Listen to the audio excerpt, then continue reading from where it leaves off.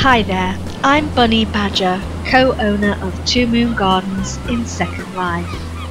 In this video, I am presenting Over the Waves, a perfectly charming mesh pier with lots of additional extras. As you walk along the decking to the pier, you are greeted with a fabulous sofa, which includes single sits,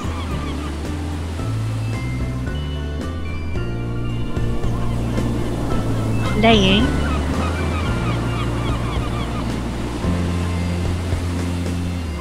coffee drinking,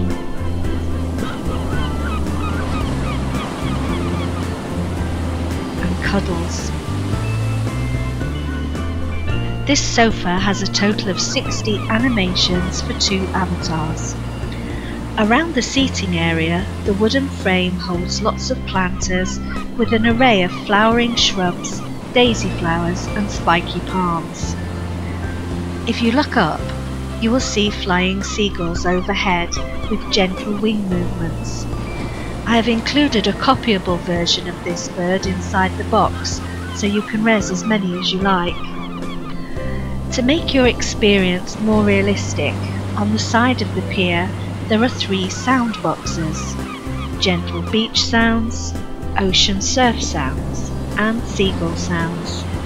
Just touch the boxes to click on or off. Also in the box are prim waves, which you can easily place on top of the water if you choose.